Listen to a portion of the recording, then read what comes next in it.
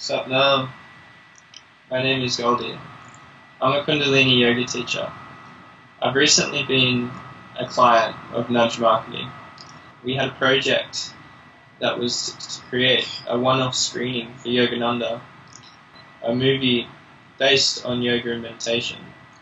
But we had a target, 55 tickets, reserved for the screening to go ahead. Nudge Marketing, Elly and Helen, two wonderful angels. What Nudge Marketing really showed for me was it can be in line with a good karma and it can provide an organic growth. So through Nudge Marketing skills of a little nudge and Elly and Helen, they created some beautiful flyers, some videos. Uh, we did Facebook marketing, social media. And so we had one week to, to blast it out. And what happened was very special. We sat back and we just watched the numbers tick, tick and tick, and we, we reached a number of 75. And we had our 75 people come. It was really beautiful to see.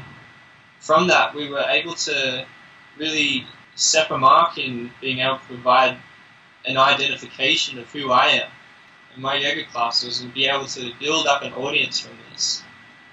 And this is what happened. We really had a successful event. It was beautiful. It was um, it, everyone was happy. It was really enjoyable, and I enjoyed it very much so.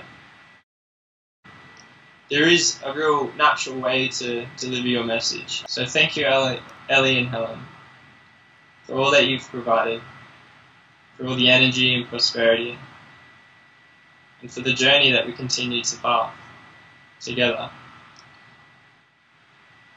So one thing that really touched my heart with Nudge Marketing, they gave their edge, they gave their experience and their very in-depth wisdom on marketing.